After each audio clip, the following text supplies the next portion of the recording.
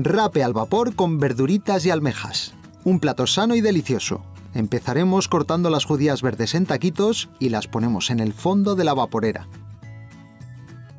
Después, atacamos con los ajetes y las zanahorias cortadas en rodajas y las ponemos encima de las judías. Por último, cortamos la base de los trigueros haciendo palanca con las dos manos y colocamos sobre el resto de los vegetales.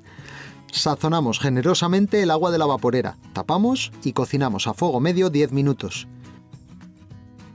Y mientras, vamos con el rape.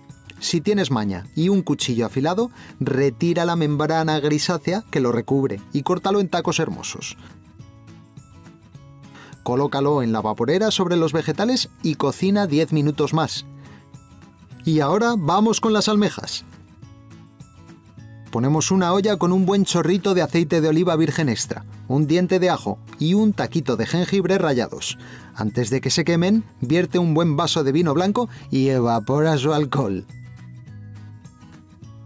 Escurrimos las almejas, las volcamos con delicadeza en la olla, tapamos y cocinamos hasta que se abran. Justo en ese momento retiramos las almejas, espesamos la salsa y agregamos el toque verde a base de perejil fresco y alga nori picadita en tiras. Comprueba que el rape y la verdura estén listos antes de sacarlos y emplátalos con arte y con salero. Reparte encima unas almejas, riégalo todo con nuestra salsa verde diferente y ¡tachan! ¿A que tiene buena pinta? ¡Buen provecho!